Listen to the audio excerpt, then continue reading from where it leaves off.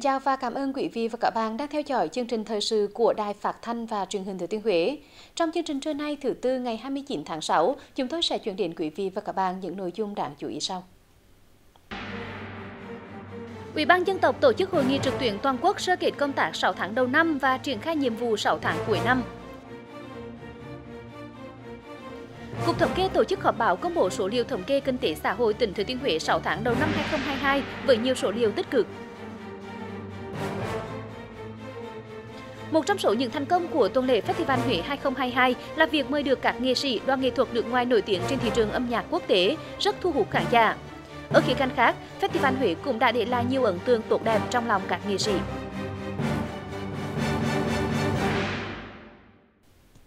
Sáng nay, Ủy ban dân tộc tổ chức hội nghị trực tuyến toàn quốc sơ kết công tác 6 tháng đầu năm và triển khai nhiệm vụ 6 tháng cuối năm. Bộ trưởng, chủ nhiệm Ủy ban dân tộc Hầu A Lần chủ trì tại điểm cầu Trung ương. Phó Chủ tịch Ủy ban dân tỉnh Nguyễn Thanh Bình chủ trì tại điểm cầu Thừa Thiên Huế. Báo cáo của Ủy ban dân tộc cho thấy trong 6 tháng đầu năm, nhờ thực hiện đồng bộ các giải pháp, nên tình hình kinh tế xã hội vùng dân tộc thiểu số và miền núi có chuyển biến tích cực, an sinh xã hội được đảm bảo. Việc thực hiện các chính sách dân tộc đạt được nhiều kết quả nổi bật. Đặc biệt, ngoài các chương trình của chính phủ, có 19 địa phương đã ban hành chính sách đặc thù riêng nhằm hỗ trợ đời sống vật chất, tinh thần cho người dân. Các đại biểu dự hội nghị cũng đã tập trung phân tích một số vướng mắc còn tồn tại trong quá trình thực hiện công tác, trong đó chủ yếu liên quan đến các yếu tố như điều kiện sống và chế độ đại ngộ đối với công chức viên chức người lao động công tác tại vùng dân tộc thiểu số và miền núi. Chế độ đối với học sinh nội trú, bán trú còn thấp, chưa đảm bảo điều kiện sống tối thiểu. Trên cơ sở những kết quả, những vướng mắc đó, trong 6 tháng cuối năm, Ủy ban dân tộc sẽ tập trung vào một số nhiệm vụ trọng tâm như hoàn thiện các đề án chính sách dân tộc trong chương trình công tác năm 2022, tổ chức thực hiện tốt chương trình mục tiêu quốc gia phát triển kinh tế xã hội vùng đồng bào dân tộc thiểu số và miền núi. Tiếp tục thực hiện cải cách hành chính, tăng cường thực hiện chuyển đổi số, ứng dụng công nghệ thông tin trong hoạt động công vụ. Theo quyết định số 753 của Ủy ban nhân dân tỉnh Thừa Thiên Huế, Trung tâm giới thiệu việc làm và dạy nghề trực thuộc Hội Liên hiệp Phụ nữ tỉnh được đổi tên thành Trung tâm hỗ trợ phát triển và khởi nghiệp phụ nữ tỉnh Thừa Thiên Huế. Sáng nay lễ ra mắt trung tâm đã được tổ chức. Đến dự có ông Phan Ngọc Thọ, Phó Bí thư Thường trực tỉnh ủy, bà Nguyễn Thị Ái Vân, Phó Chủ tịch Hội đồng dân tỉnh. Ngày hội khởi nghiệp được tổ chức với chuỗi các sự kiện gồm hội chợ kết nối chuỗi giá trị sản xuất sản phẩm truyền thống, ẩm thực giữa các doanh nghiệp nữ với các hội viên phụ nữ có ý tưởng khởi nghiệp, với sự tham gia của 20 gian trưng bày.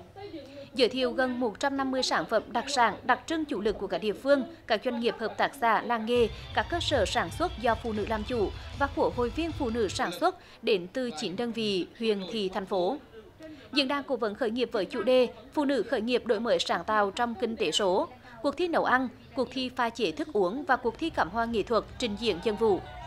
Dịp này, Hội Liên hiệp Phụ nữ tỉnh cũng đã tổ chức lễ công bố đổi tên Trung tâm hỗ trợ phát triển và khởi nghiệp phụ nữ tỉnh Thừa Thiên Huế từ chuyển đổi công năng Trung tâm giới thiệu việc làm và dạy nghề Hội Liên hiệp Phụ nữ tỉnh.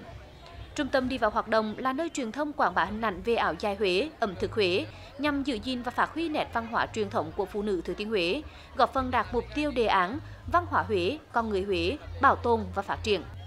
Phát biểu tại ngày hội, Phó Bí thư Thường trực Tỉnh ủy Phan Ngọc Thọ biểu dương nỗ lực và những hoạt động ý nghĩa phong phú của Hội Phụ nữ trong thời gian qua, đồng thời mong muốn đơn vị sẽ trở thành địa điểm dạy nghề tin cậy, qua đó hỗ trợ phong trào phụ nữ khởi nghiệp, đặc biệt giúp những phụ nữ khó khăn vươn lên trong cuộc sống. Phó Bí thư Thường trực Tỉnh ủy đề nghị các ban ngành chức năng tiếp tục tạo điều kiện giúp phụ nữ thực hiện được ước mơ khởi nghiệp. Các sản phẩm khởi nghiệp của chị em phụ nữ sẽ khẳng định được vị thế trên thị trường và hoạt động khởi nghiệp ngày càng đi vào chiều sâu. Cùng vào sáng nay ngày 29 tháng 6, Cục Thống kê tổ chức họp báo công bố số liệu thống kê kinh tế xã hội của tỉnh trong 6 tháng đầu năm 2022.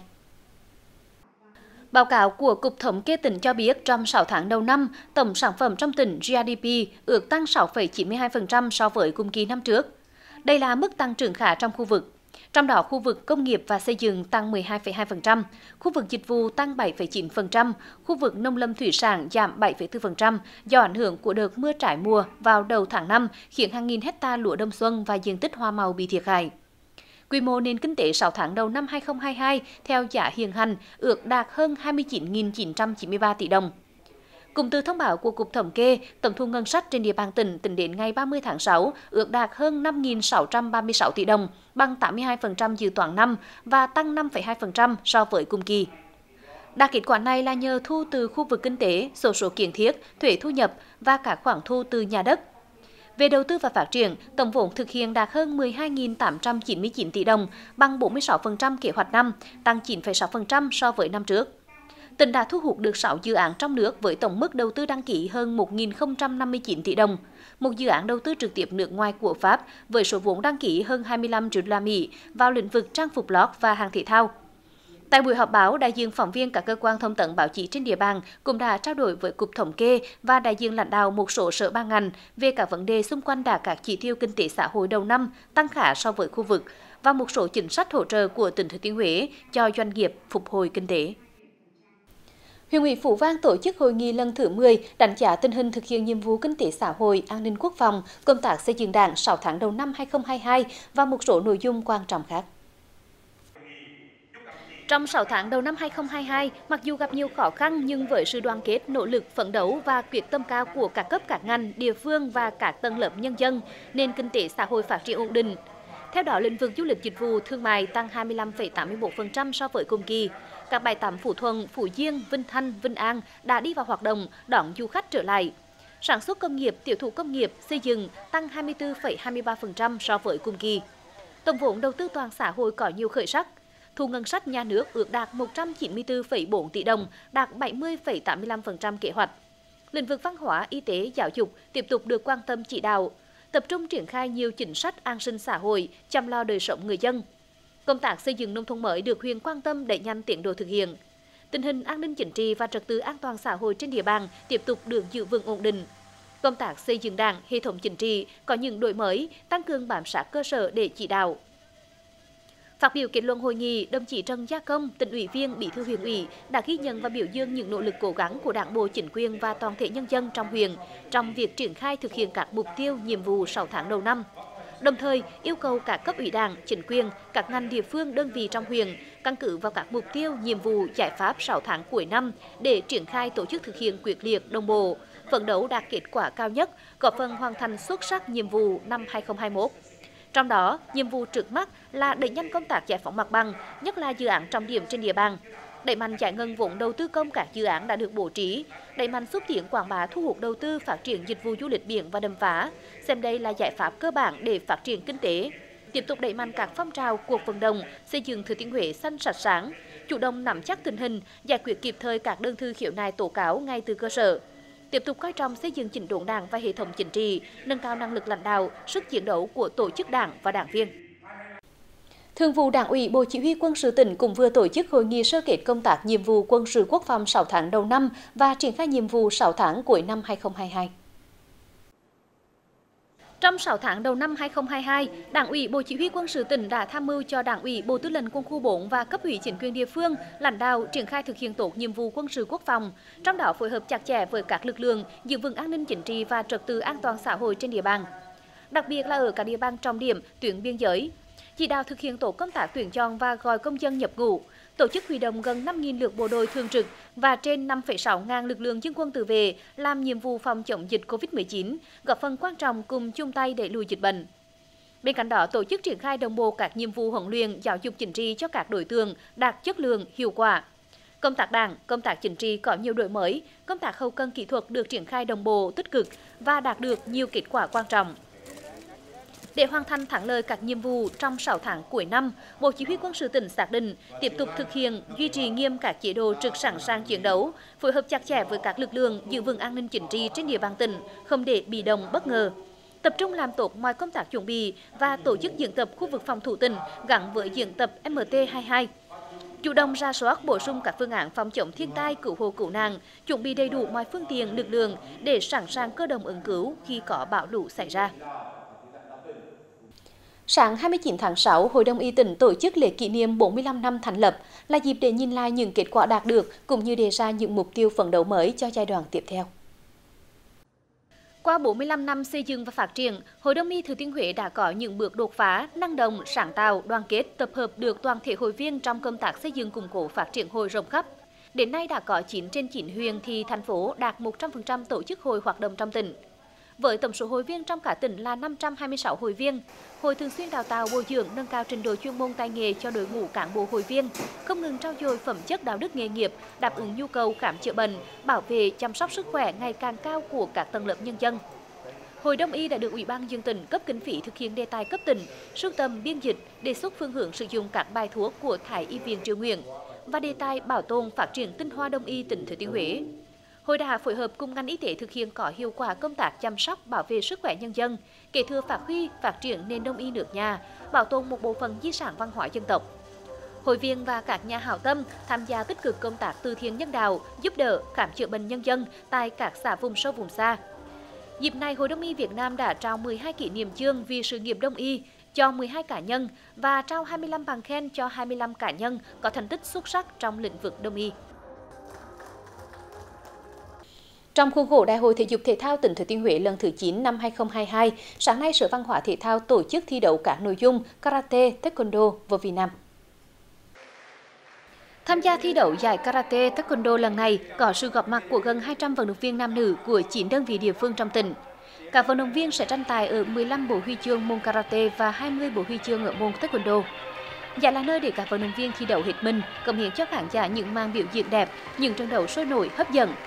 Đây cũng là dịp để kiểm tra đánh giá công tác đào tạo huấn luyện vận động viên karate, taekwondo của các địa phương, các ngành, qua đó phát hiện tuyển chọn các vận động viên tham dự Đại hội Thể dục Thể thao Toàn quốc sẽ được tổ chức vào tháng 11 năm 2022 tại Quảng Ninh.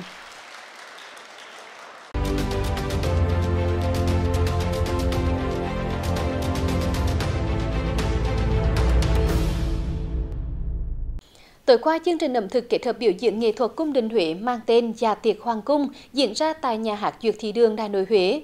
Đây là cơ hội để Thừa Thiên Huế giới thiệu quảng bá các sản phẩm du lịch đặc sắc cũng như tạo cho du khách những cảm giác thú vị khi trải nghiệm một sản phẩm văn hóa đặc trưng của Huế mà không nơi nào có được. Trong không gian sang trọng, lung linh huyền ảo giữa những làn điệu mang đậm truyền thống của âm nhạc cung đình, nhiều du khách tỏ ra rất thích thú khi được thưởng thức các món ăn đặc sắc của ẩm thực truyền thống Huế, vừa đa dạng, cầu kỳ và đẹp mắt qua bàn tay khéo léo của các nghệ nhân kết hợp với trình diễn thời trang áo dài.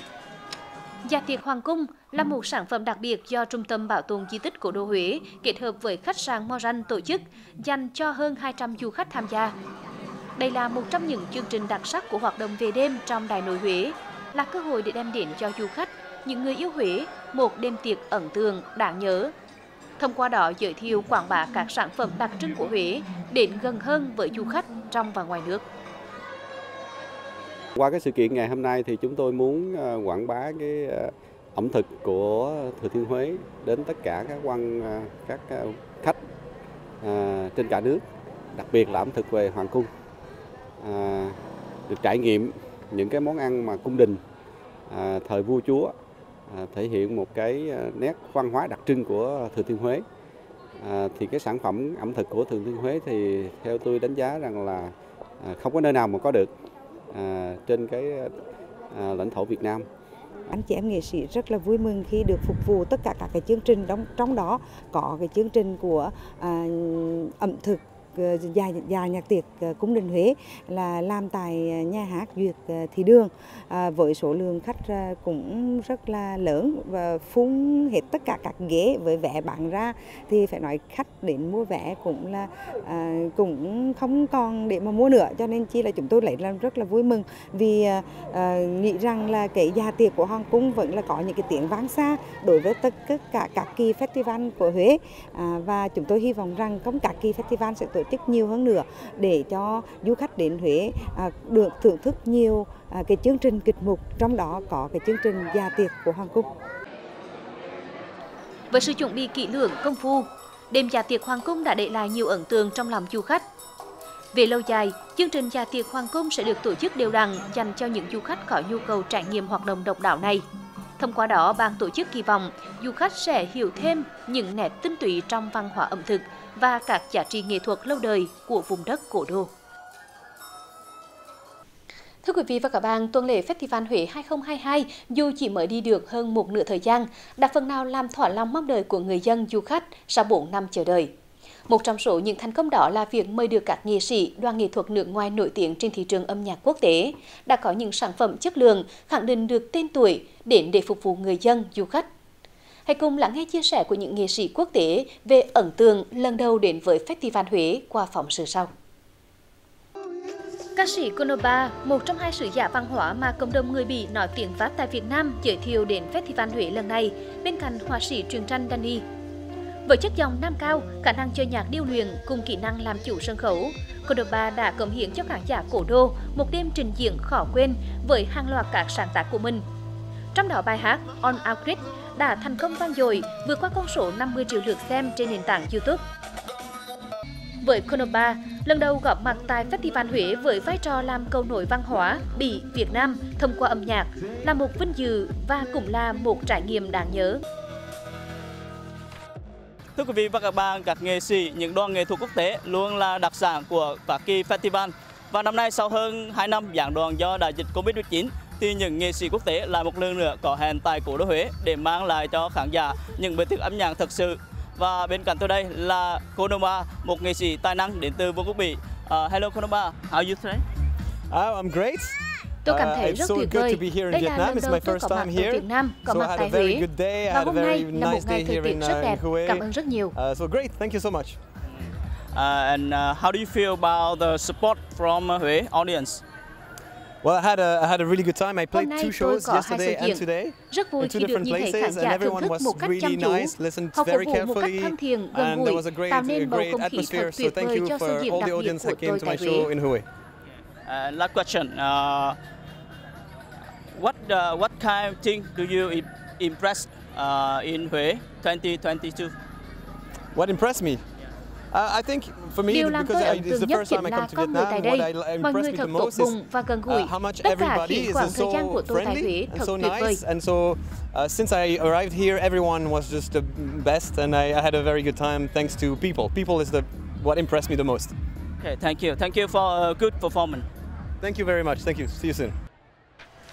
Với khán giả Huế, đặc biệt là các bạn trẻ, thông tin nhóm nhạc Kid Francescoli sẽ xuất hiện tại Festival Huế thật sự là một bất ngờ cực lớn khi đây được đánh giá là một trong những cái tên gạo cội của làng nhạc điện tử thế giới nói chung và nước Pháp nói riêng.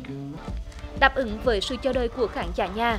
các thành viên của Kid Francescoli, đặc biệt là trưởng nhóm Matthew Hossin, đã mang đến một bữa tiệc âm nhạc vừa sôi động, vừa quyến rũ và hoài niệm tại sân khấu Bia Quốc học Huế.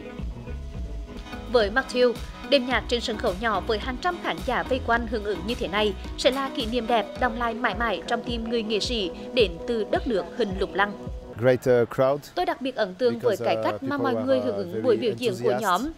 Từ cảm xúc uh, hào lot of hứng, phấn khích cho đến việc bật sáng đèn flash đã góp phần làm đêm diễn đầu tiên của tôi tại Việt Nam thật sự là một trải nghiệm khó quên. And it's the first time in Vietnam, so it was a great experience. Trải qua hàng trăm buổi biểu diễn lớn nhỏ từ khắp nơi trên thế giới, nhưng có lẽ đối với những nghệ sĩ quốc tế góp mặt tại Festival Huế năm nay, khoảnh khắc được chảy hết mình trong âm nhạc, trong tình yêu của khán giả cổ đô và được dùng chính nghệ thuật để kết nối mọi người, mọi nền văn hóa, chắc chắn sẽ là những ấn tượng khó phai. Tuần cao điểm Festival Huế 2022 đã thu hút hàng chục nghìn du khách trong nước và quốc tế đến tham quan trải nghiệm.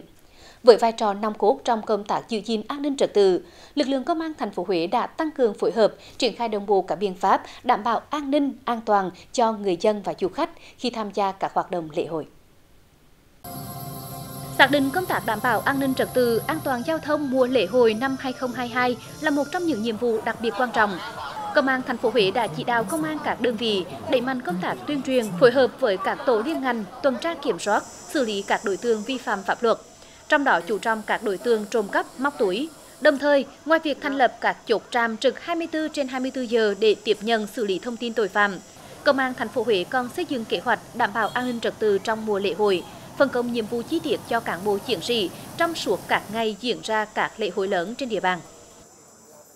được sự ờ, chỉ đạo trực tiếp sâu sát của ban chỉ huy công an thành phố Huế, đội cảnh sát giao thông trật tự công an thành phố Huế ngay từ đầu ngay đầu triển khai được cao điểm ra quân trấn áp Ờ, tội phạm trong dịp